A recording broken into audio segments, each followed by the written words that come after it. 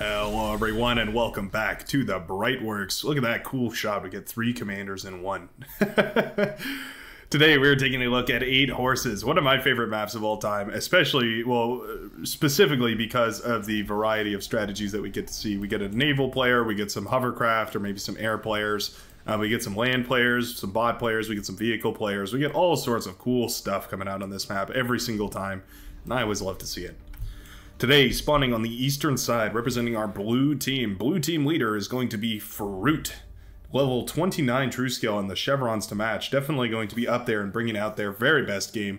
Uh, and notably higher than everyone else in this lobby. So if, if anyone I'm expecting to be carrying the match, it's going to be Fruit. Can't say that I recognize their name from playing in the game or uh, playing playing with them per se. Uh, but certainly happy to have them debut their scene here on the Brightworks channel. Spawning on the western half for our red team. Where are you? There you are. Way up north, we have Marlboro. Marlboro, a player that I do recognize. We've seen in a couple of the casts here and also growing their chevron count. That's always nice to see. The chevrons, in case anyone's curious, I've mentioned this, uh, I've, I've brought note to these, but I don't know if I've ever explained this. The chevrons are your experience in the game. Um, essentially, they just go up with how long you've been playing the game the numbers next to your game are true skill. So that's how, how many games you've won. So you can sort of gauge how good someone is based on those two things. Like if someone has a low true skill but tons of chevrons, uh, it probably means that they're actually pretty good and they just, it's either, it's like a fresh account or they just haven't played very much. Um, but if someone has like a huge, a high, super high true skill but low chevrons, uh, prob probably means that they got, they accidentally won a couple too many matches and true skill values got mixed up, all that sort of good stuff. But anyways, you can just you, you can infer from that whatever you like. Uh, but Marlboro always a player to keep our eyes on, and today they are going to be playing with an air lab in the backline, so that's quite interesting. Air lab does of course make you very prone to harassment from the opposing team here. So if uh, yeah, it looks like all out of Goofy, yuck, all out of Goofy here. Uh, does have the vehicle lab, which means that we could see some amphibious tanks come out. That could be, yeah, that could be pretty devastating certainly those uh, amphibious tanks can can do a lot of trouble here. Um, concerning concerning not only me but basically anyone who is on this uh, this island over here. Say for instance we we were trying to contest this middle island right here, or we were trying to uh, well survive on this island, right? Uh, those those amphibious tanks can of course swim through the water, climb through the land, and are just generally going to be quite a nuisance uh, across the battlefield. As far as units out and about on the field today, I think I have to give it to... Ooh, it died, but Chuck Norris Dev uh, did have the very first unit out. I think it was a tick. Oh, no, it was a rascal. Uh, did get a unit across the field first. So to them, I say congratulations. You have won the official Brightworks Get a Unit Out and About on the Field award. right behind that, we do have Fruit, who has a hero grunt moving forward here. The little grunt that could. Look at their cute little chicken legs.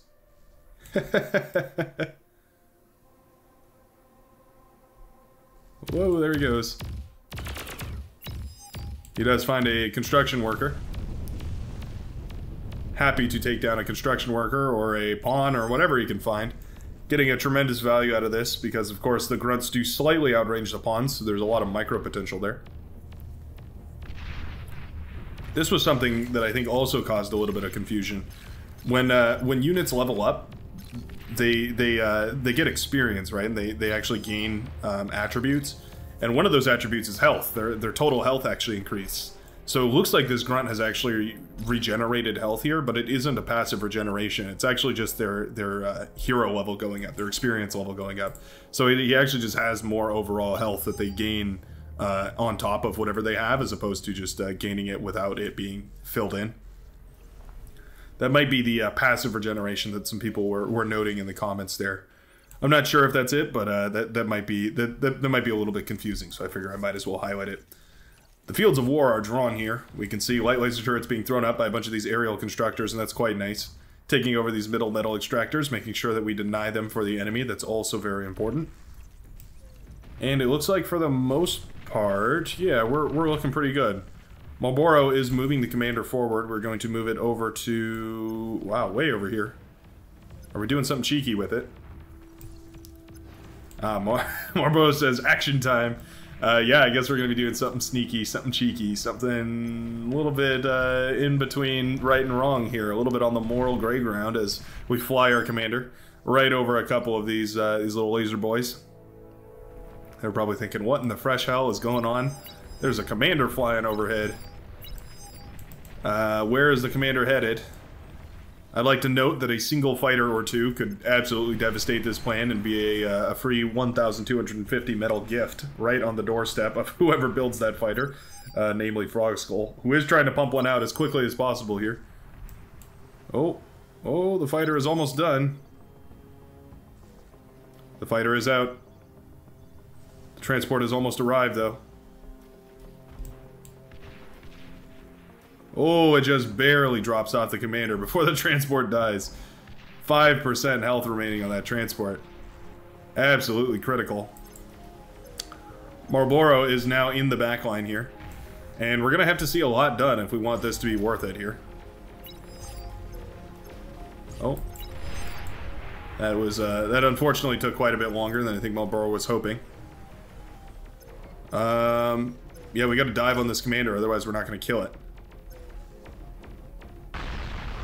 Nope.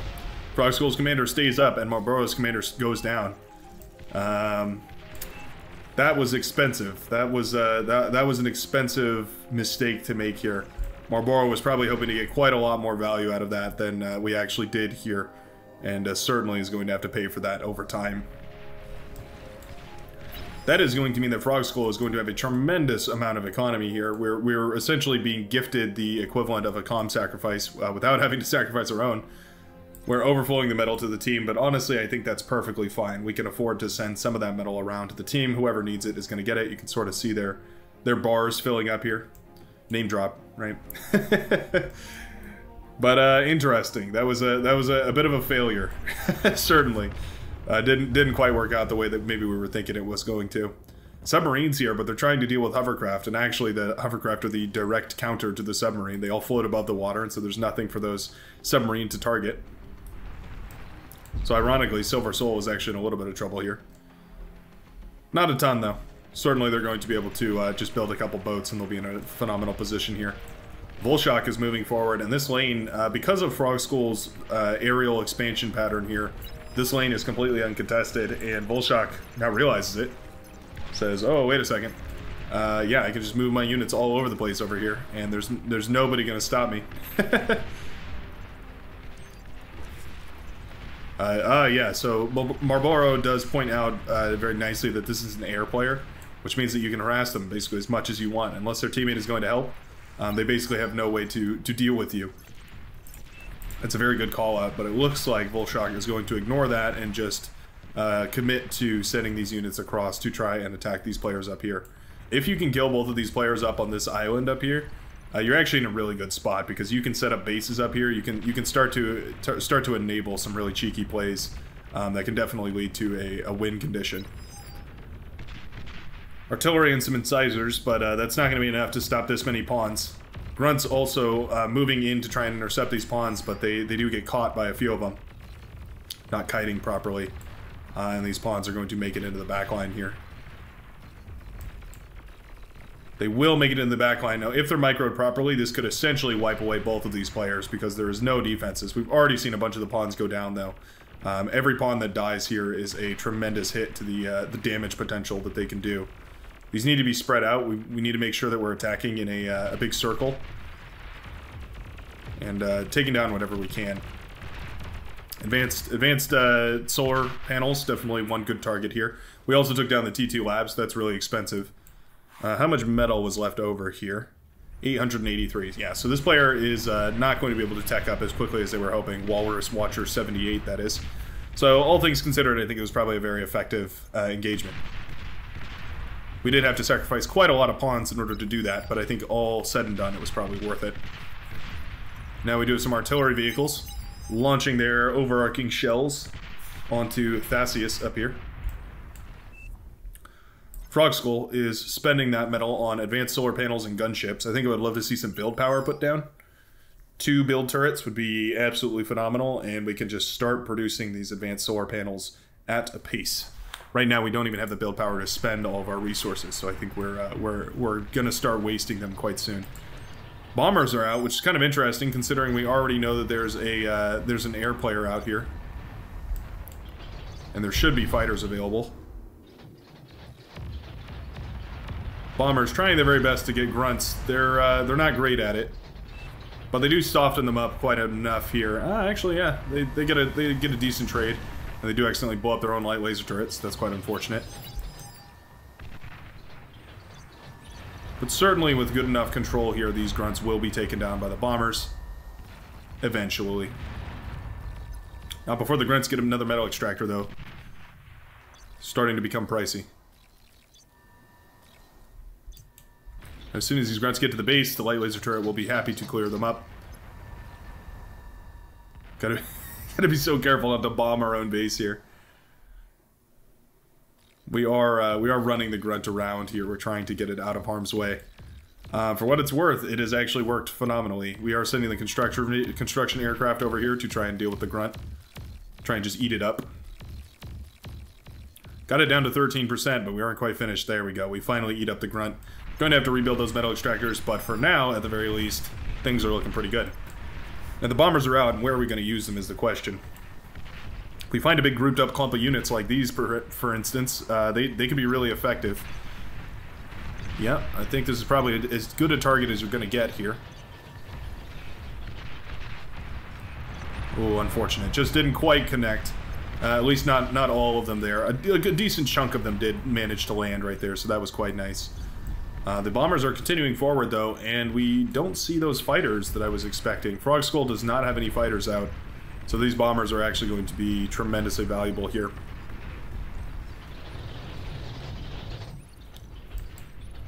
They drop their filthy payload, devastating those windmills right there. Where are they going to head next? Looks like they're going to harass down this purple player. We're making sure to spread our effect uh, very, very widely across the map here. We're trying to make sure that everyone is having an easier time.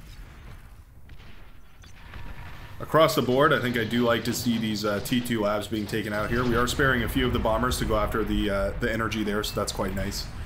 The uh, purple player is now down to 32 energy. Uh, very, very, very, very low energy here.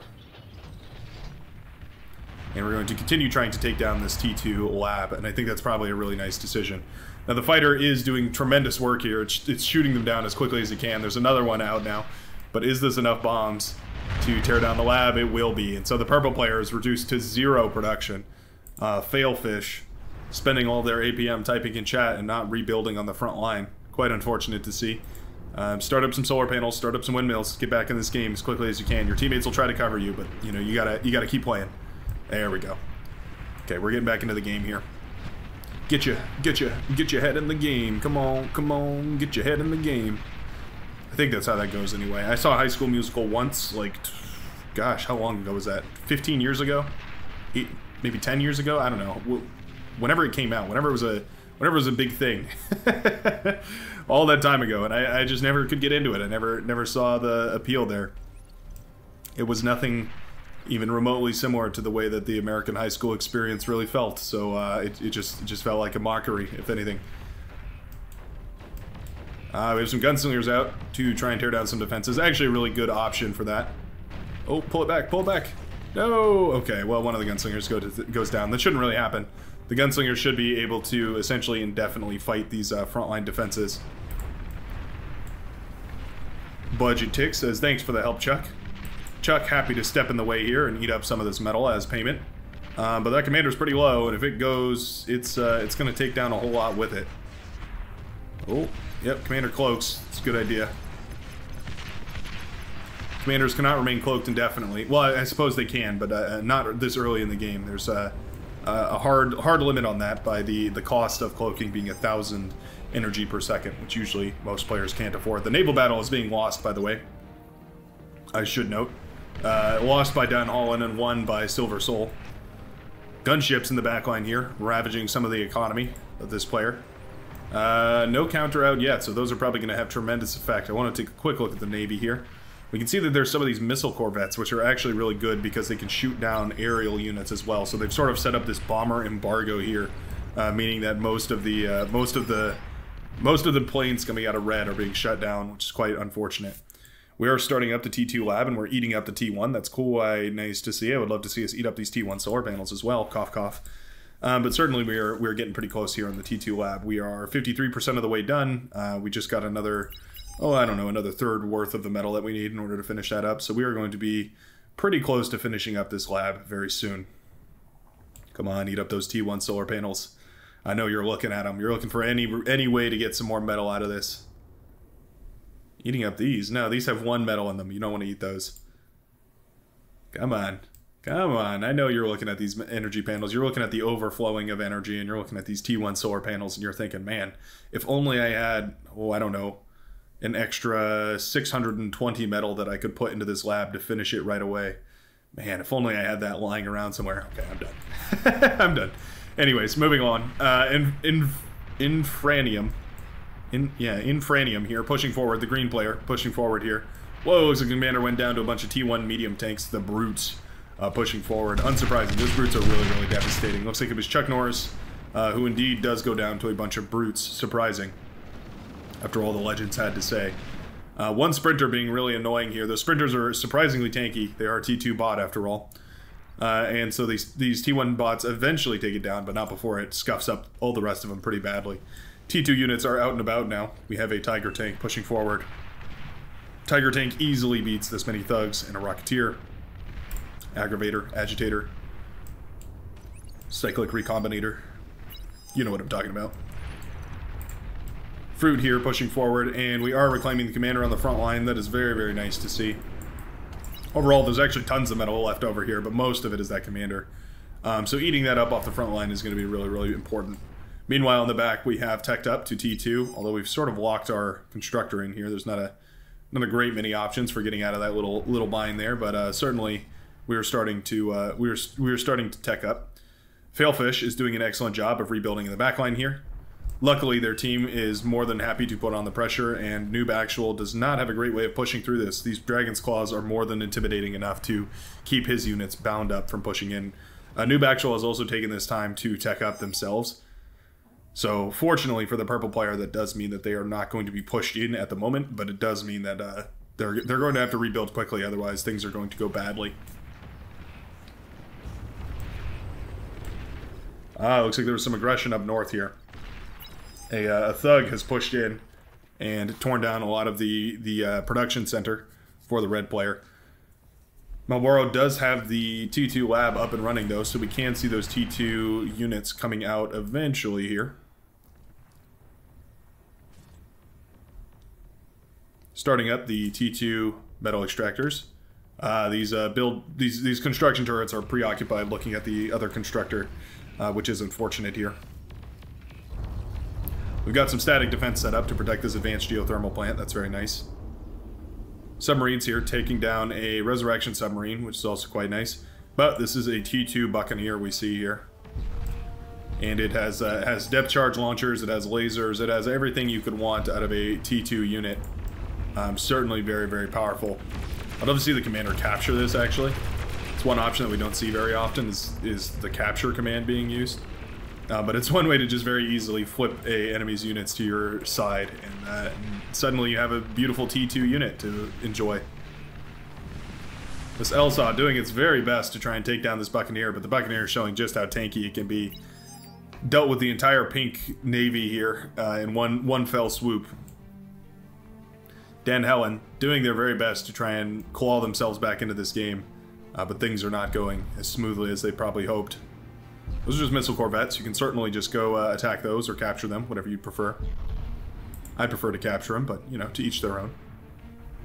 Dan Helen has completely run out of money, though, and that is becoming a huge problem. There's a rattlesnake that was built over here. That's quite interesting. The rattlesnake has been thrown up to, uh, I guess, defend this lane a little bit here, but the blue player has already pushed in. Budget tick now moving in with the commander to try and degun some of these tanks. Decent degun there, got two of the tanks, but the tanks are routed, um, and the commander will eventually go down here. A dangerous game. Suddenly we have hounds pushing in on the green player up north, and these hounds can stream through into the back line and cause a tremendous amount of pain. These uh, these T1 medium tanks are going to be cut off eventually, but they might be able to get enough damage that it's worth it over here. Commander for the naval player for the red team does go down. Uh, and with that commander out of play, there's not a whole lot more for this this green army to be afraid of. This Buccaneer is pretty low here. We need a resurrection sub in order to start eating up all of these ships that were left on the bottom of the floor here. Um, but getting rid of this Buccaneer is probably the best option uh, before we can do that. The uh, battleship does start firing here. Not sure what it should be shooting at. That's really unfortunate. It's sort of aiming at the wrong things. Oh, one more shot. Has to land it. There we go. Okay, the, the, the destroyer does eventually manage to take out the Buccaneer, um, and it will eventually take out these missile corvettes as well. Oh, actually, it's a pretty close battle. Are they going to kill each other? Oh, the, the destroyer just barely survives. Resurrection subs are what we need immediately, otherwise we're going to be overrun really quickly. We need to get that Buccaneer up and running for us, uh, as opposed to running for the enemy team here. T1 light gunships are out now, and uh, that's that's quite interesting. They're going down to a long-range long-range missile, long-range anti-air, the uh, Mercury here. Shooting them down with pleasure and glee as they they roam into its uh, effective radius here. Every time it fires, a missile, a missile ship loses its wings. So this is really interesting. The red the red team, uh, in the form of Backdoor Milkman, which is just hilarious name by the way, uh, they could swoop down in this direction and uh, back end backdoor uh, backdoor the blue player here. Ironic. Um, we also have the yellow player who has full reign over pushing in this direction. Now currently all their units are tied up with protecting the middle of the map here uh, which is why, you know, currently we don't see anything. Um, but certainly it's an option. Uh, okay, we do have the Resurrection submarines out now. We're building a nice little spread of naval units, so that is quite nice. I wouldn't mind eating some of these these uh, less important units, like maybe eating up the commander, eating up the uh, some of these missile corvettes, and maybe even one of these destroyers, in order to actually get the the uh, metal that we need to produce more resurrection submarines because we have tons of energy. We have plenty of energy to resurrect here, but we don't have the metal. Certainly, all of it is just laying right there on the floor. Now there's a bunch of submarines pushing forward, and these are going to be really hard to deal with. These are the T2 submarines, the Predators, fast assault submarines, everything their name implies and more. They're very, very good, and they're very difficult to handle, especially with just T1 units. Now, luckily, they park in a really inopportune position here, which does allow the destroyer to get a couple good hits off, uh, firing both its depth charges and its cannons. So actually, that trade went phenomenally well for the destroyers here, who do manage to take down one of the submarines. Second one, very low, and it does go down as well. Those depth charges still do an immense amount of damage to these these uh, T2 submarines here. We do kill the resurrection submarines. Oh, yeah, we should be resing the commander. We should definitely be eating the commander. Um, but wow, those submarines actually took a tremendous amount of damage. Really, really unfortunate engagement for those submarines against these destroyers. Who knew? Very, very nicely done. Now we have some uh, some hounds moving forward here. It looks like an EMP bomb went off somehow. Maybe it was a spy, or maybe it was a uh, a Twilight, one of those cloaked fuse or cloaked uh, metal extractors. There's the music.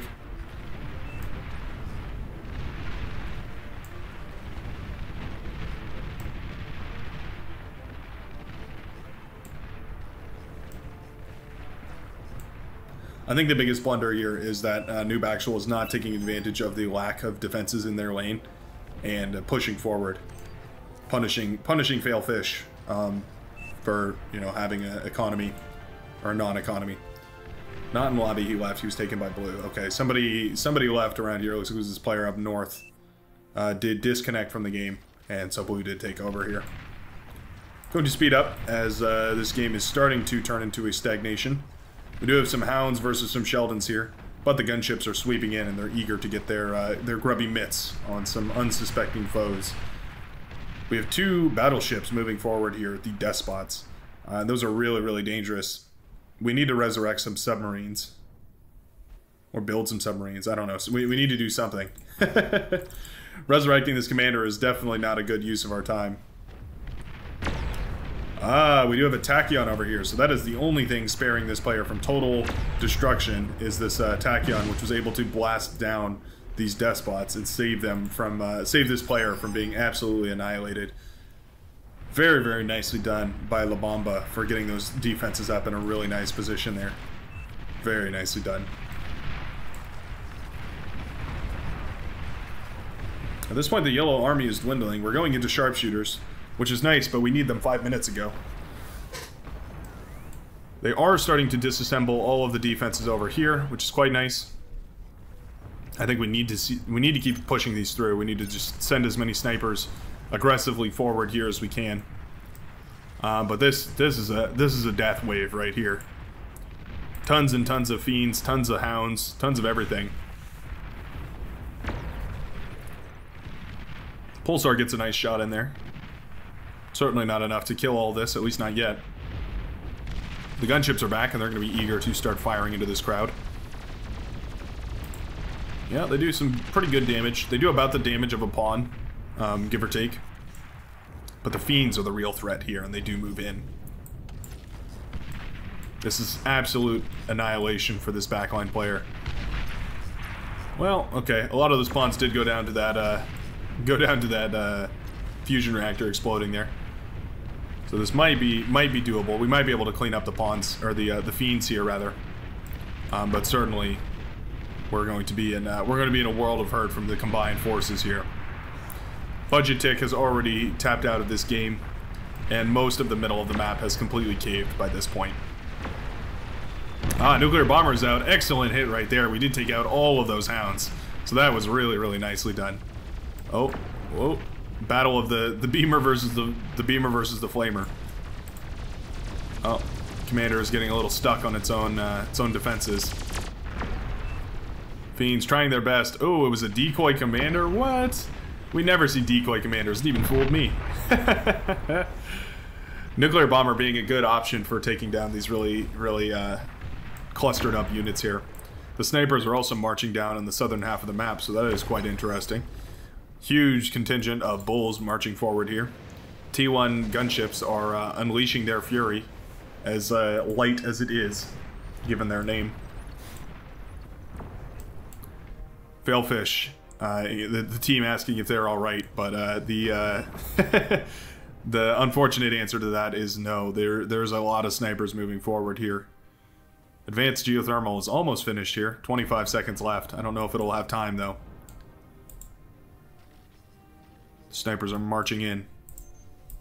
Would have loved to see a radar and a radar jammer mixed in with this army. But what you can also do is just cloak one of these snipers, turn off the uh, the fire at will, and uh, cloak the sniper and move it in. And what that'll do is it'll give you the, the vision in order to actually fire the other sniper. So you kind of have to sacrifice one for the good of the many, you know, but uh, I think it's worth it.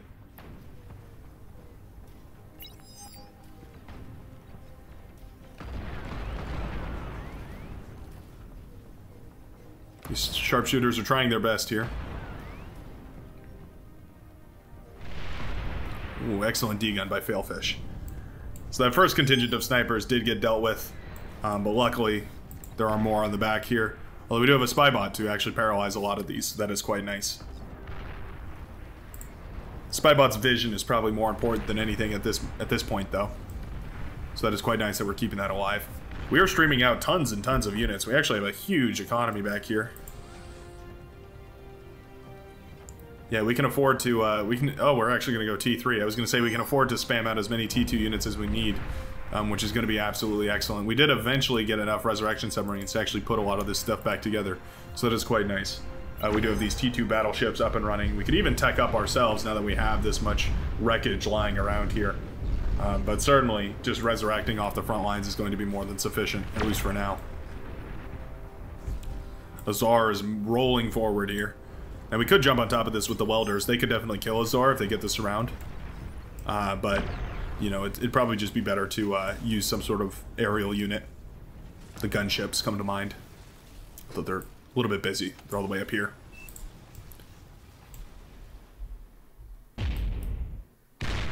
Oh. 98.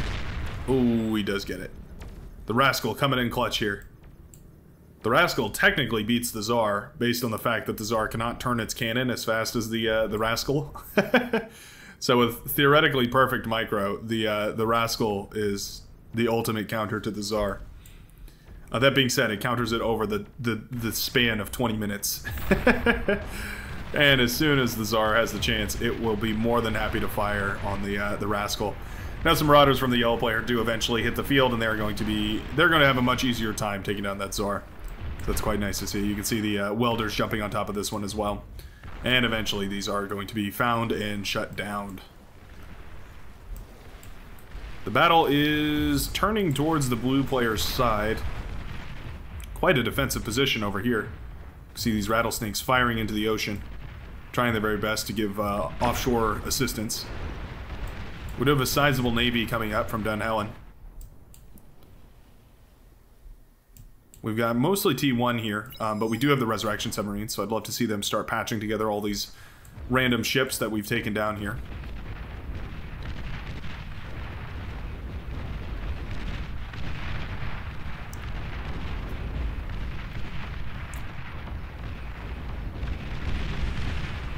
Yeah, with the fire support from the artillery over here, this is actually a, a decent naval engagement.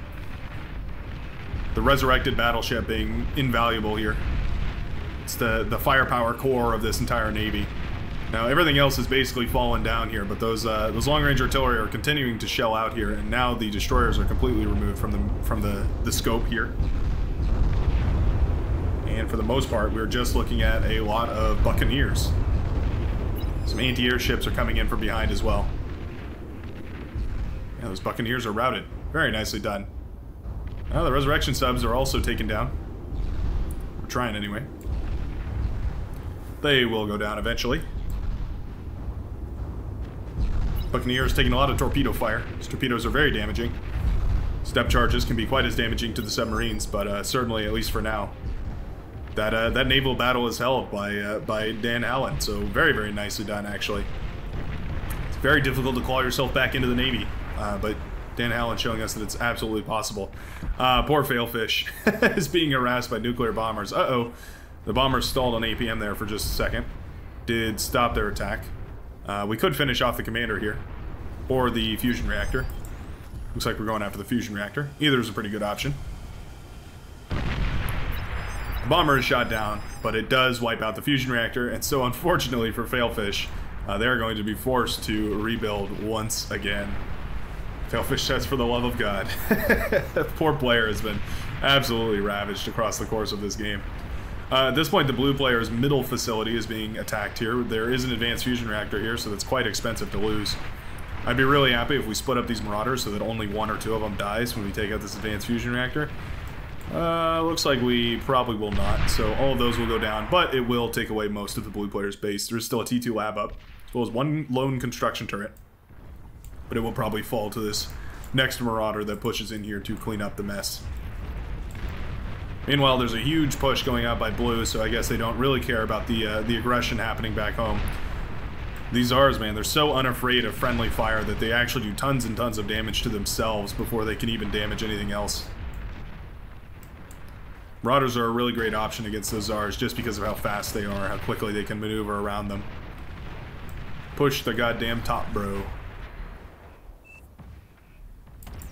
The pleas for assistance. And uh, yeah, we have plenty of Buccaneers to push through this. We've, we've continued to scale our Navy at this point. Um, the artillery, the, the offshore artillery is, is devastating, certainly. Um, but it is not going to be enough to save these players. And indeed, the depth charges will wipe away all those resurrection submarines. Now the Buccaneers are moving in. Pulsars are still here and willing to fire. As we can see, they turn their heads towards these Buccaneers over here and start melting them down. Difficult position to be in as the Navy player. Like, what do you do to, uh, to counter an offshore defense like this? Certainly pretty difficult. Uh, we're going to self-destruct the commander. Ballsy move, but it can definitely be valuable here. Commander does go down, wiping away most of those Buccaneers. Just one or two managed to uh, continue pushing forward here. We did tech up to a T2 lab, so we could go for our own T2 units if we'd like. This Pulsar being so valuable here. We're just not making the right units. We need submarines. We need uh, we need maybe a uh, battleship. We could even we could even get away with a flagship here.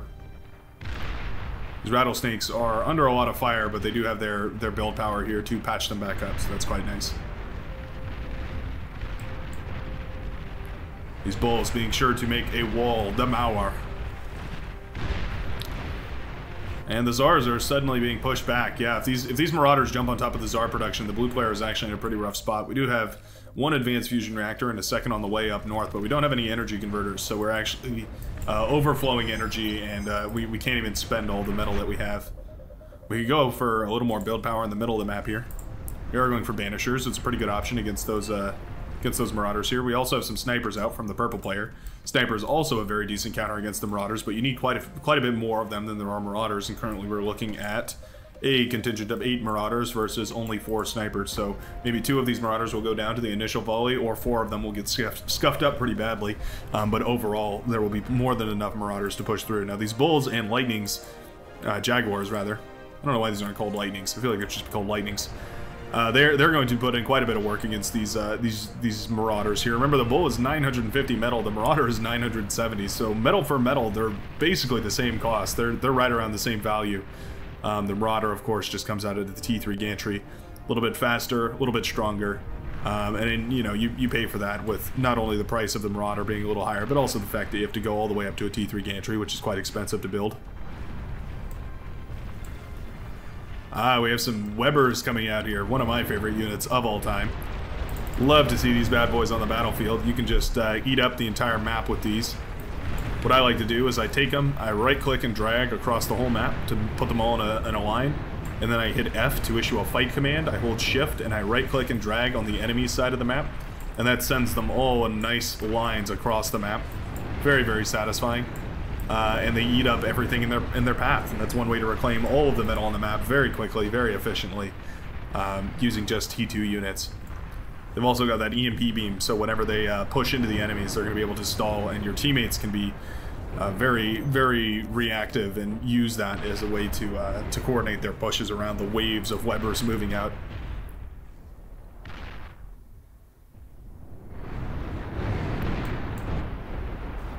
The Banishers are a decent choice against the Marauders here, but without the vision, they, they miss a lot of their rocket shots here. So unfortunately for the uh, the blue player, a lot of these a lot of these uh, these these poor Banishers are going to be taken down here. Not sure why a lot of those weren't firing. I believe the Banishers can fire while they're uh, while they're moving. I'm not sure what happened there. Um, but yeah, a lot of these Marauders are going to jump on top of the Banishers, and they will go down. Ah, big push is coming through on the, the southern side here. Some T2 units to break through the T1 defenses. Certainly going to be enough. These bulls are very, very tanky. As they should. They're they're very expensive. But the Marauders are here, and uh, they're they're not afraid to get their hands dirty. It amazes me that we haven't pushed through with this many Buccaneers yet and claimed the naval victory. But kudos to the Salmon player for uh, sticking in the game here keeping their keeping their uh, keeping to their guns and, and making sure that they're using every tool at their advantage. We are starting a amphibious complex. That's interesting. I do love to see that. Huge beachhead is being built up over here, though. We have some artillery pieces. We have a couple of these uh, these tiger tanks being built up. Things are starting to look bad our red player is going to need to bring out some really powerful stuff if we're going to shut down this whole army. We do have the EMP bombers. That's certainly one way to deal with that. Ah, but the missile, the missile uh, carriers here, the negotiators, the stealthy rocket launchers are going to be more than happy to uh, decimate this this uh, static defense from a long range. See these missiles absolutely devastate those pit bulls an excellent siege siege option if you're looking for a way to do some long range damage, some some high spike pierce long range damage. Uh, yeah, investigating some of those missile carriers missile trucks. Absolutely the right move here. As that front line is completely blown apart. Now, opposed to that, we have the Orange Army stalling on this beachhead, trying their very best to push forward. Marauders are falling through this gap here uh, into Failfish's base once more who has decided to go thermonuclear. Commander with some excellent deguns here gets two of the Marauders before the third one has time to react. Uh, eventually it will move along and it will try to take a different path, but it does get degunned by the Commander. We're trying to get on the Commander, but we're also trying not to get our, our Marauders degunned here. Uh, it's a tricky back and forth, right? We just want this nuke to come up and online. We're trying. Failfish is trying so hard, and I have to commend them for their absolutely excellent attempt here. Um, the Marauder still managed to break into the back line, tearing down the anti-air defenses. Failfish having having nightmares of more nuclear bombers getting into their back line here. Um, oh, all the build power goes down, but the nuke launcher does come up in time. So Failfish will at least have that to look forward to. No anti-nuke, actually, for very much of the map here. Uh, huge push, by the way, over here. Fruits Commander does go down, and the blue economy center is completely crippled by this point. Starlight's pushing forward, starting to burst down the advanced fusion reactor. It does go up, meaning that the blue player is wiped almost entirely out of this game. Uh, in fact, I can't even see them on the on the little screen over here. That's interesting. What just happened? Okay, somehow I've accidentally gotten rid of my uh, my players on the right side of the map. Some sort of technical issues. Well, we're already too far into this one, so we'll finish this game up before I go investigate what on earth just happened there. More and more Marauders streaming through the southern part of the map, and I think I'd like to see them spread out a little bit and maybe head into different bases here.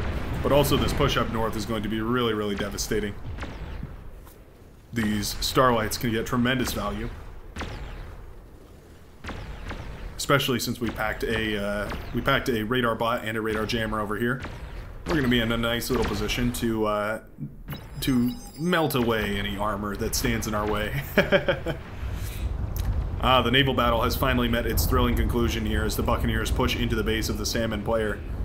Uh, we were trying to go for our own dreadnoughts here, our own uh, battleships. But it looks like that player will not be able to maintain a naval presence much more as all of their economy chain reacts right here. And uh, the, the, the Buccaneers are more than happy to launch their depth charges at naval fusion reactors, naval, you know, underwater constructors, and the, uh, the Salmon player finally loses here. The Pulsars were not enough to keep this round of Buccaneers out. And uh, yeah, Dunhalen is now finally out of the game.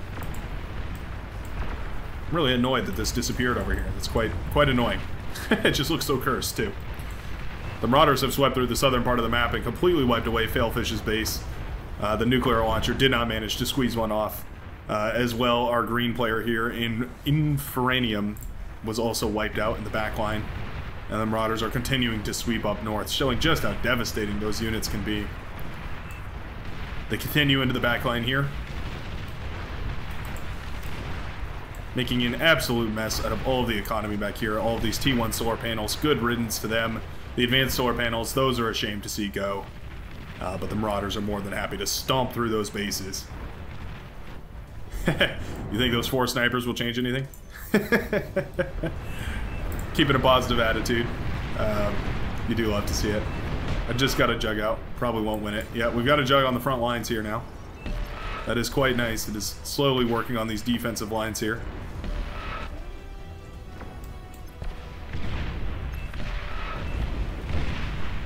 These walls actually doing a great job of sparing the, the pit bulls from this Juggernaut's wrath.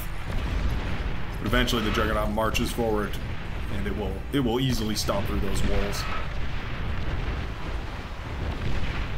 It does take a little bit of damage from those walls actually, but uh still.